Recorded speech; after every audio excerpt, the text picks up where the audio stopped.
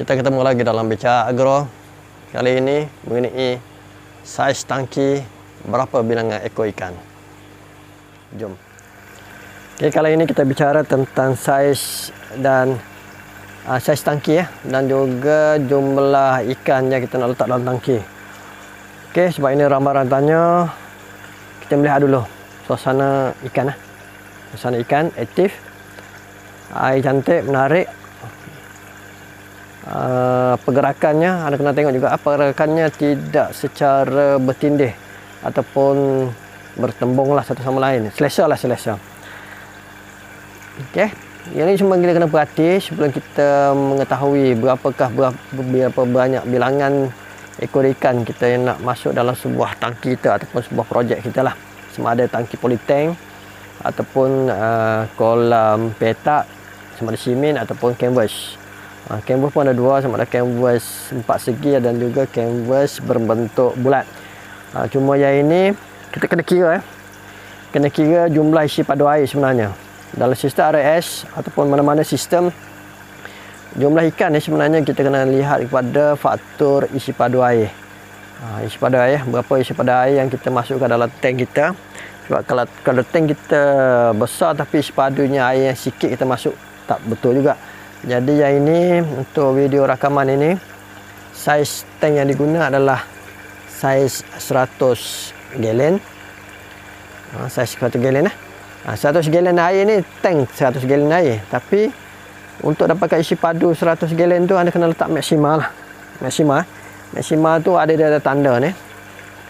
Kalau nampak ni ini paras air. Dia ada tanda dah inilah sebenarnya Maxima. Ini uh, inlet eh, kawasan inlet. Ini Maxima. Maxima ni maksudnya optimum lah. Optimum dikira 100 gallon. Ha, jadi di situlah kita tahu berapa jumlah ikan yang kita nak masukkan.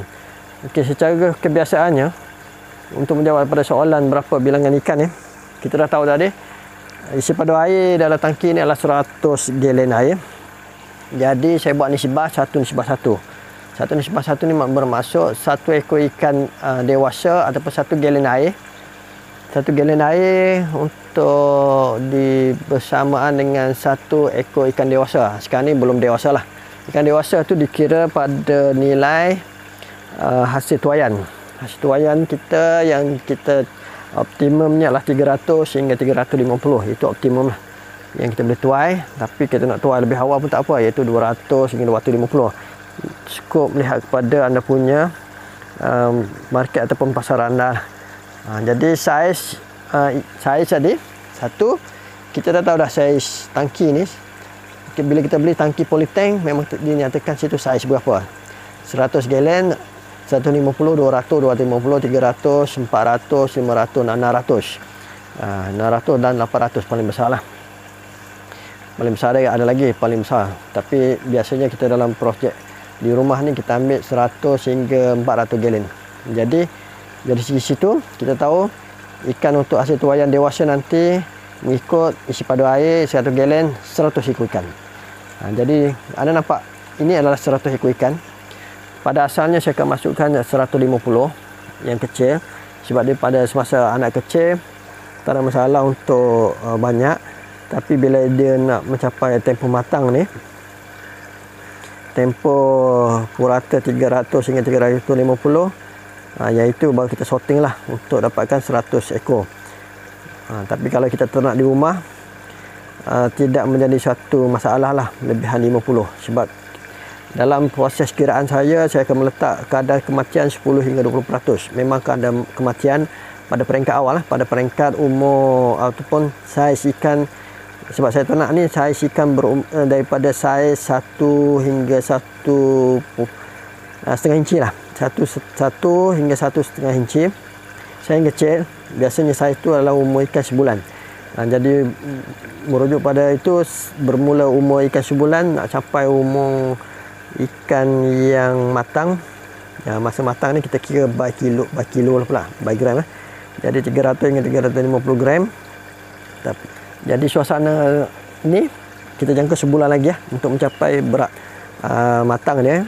Uh, lebih kurang antara yang saya target ni adalah antara 200 hingga 250. Uh, itu sebulan lagi kita target. Jadi kalau lihat suasana ikan ni dengan 150 ekor tol, campur tolak katakan 20% dah mati lebih kurang 120 ekor 120 ekor sekarang ni kita lihat masih tidak terlalu sesak lah ha. tidak terlalu sesak walaupun ramai dikatakan uh, terlalu banyak tapi bila kita tengok secara uh, secara real lah nampak ikan tu tidak terlalu sesak. Masih dalam keadaan terkawal. Ok kita tengok. Kita bagi makan sikit. Nak tengok semua naik. Nampak eh? Tidak terlalu sesak. Itu ikan semua naik. Sebab biasanya semasa makan ni ikan semua naik lah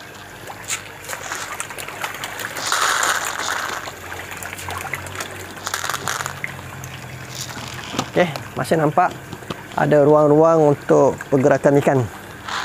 Ha.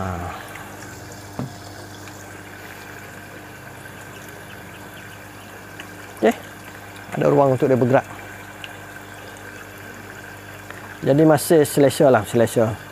Ha, dengan nisbah yang saya buat ataupun kebiasaannya dan juga yang ini di, di, di, di segi, segi pembacaan lah, pembacaan satu galen sebab kita biasa bila saya menggunakan galen tu sebab saya guna polytank. Uh, bila polytank dia ada dengan galen. Uh, kalau ispadu ni anda sama ada nak guna galen ataupun liter lah. Uh, ispadu nak ispadu air anda kena kira uh, kalau ini diameter kali dengan ketinggian tank dan kali dengan paras air.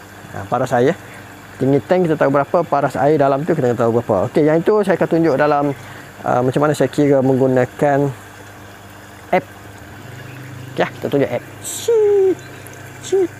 App. Nah Okey, kita guna app ni untuk kita kira berapa jumlah uh,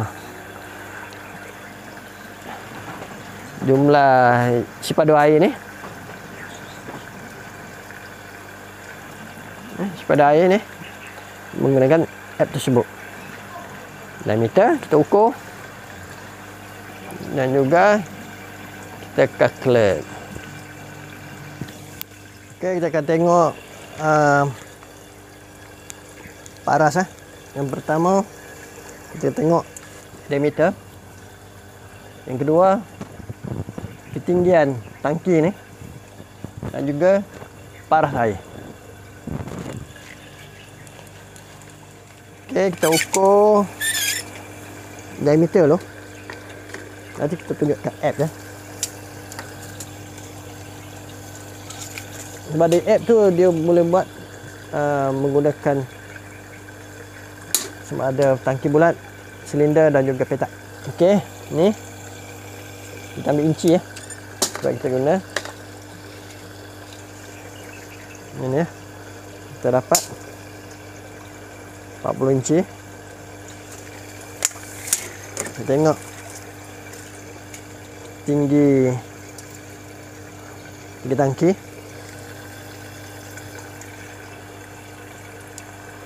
Dua kaki ataupun 24 inci. Dan akhirnya kita tengok paras air. Nah ini kena ukur dalam. Ok ini kita akan dapat 20 eh? 20 inci. Ok jom kita kira berdasarkan apps.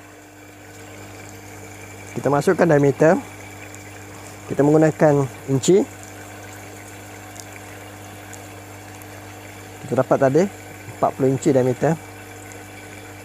Ok kita masukkan pula ketinggian tangki iaitu sebanyak 24 inci dan kita masuk paras air. 20 inci. Ok dan akhirnya kita tekan calculate. Dah keluar jawapan. Ha, itulah. Isi air menggunakan aplikasi. Ha, kalau kita tak tahu kita kena kira lah. Ha, iaitu aplikasi senang memudahkan kita kerja kita untuk mengira isi air. Ok kalau petak, guna petak. Okey. Okey, contoh kalau kita guna petak, kita akan masukkan pada kita ambil tekan pada peta tu. Nah, peta ni sama ada kolam canvas, kolam tanah dan sebagainya. Okey, lepas tu kita masukkan nilai seperti tadi juga.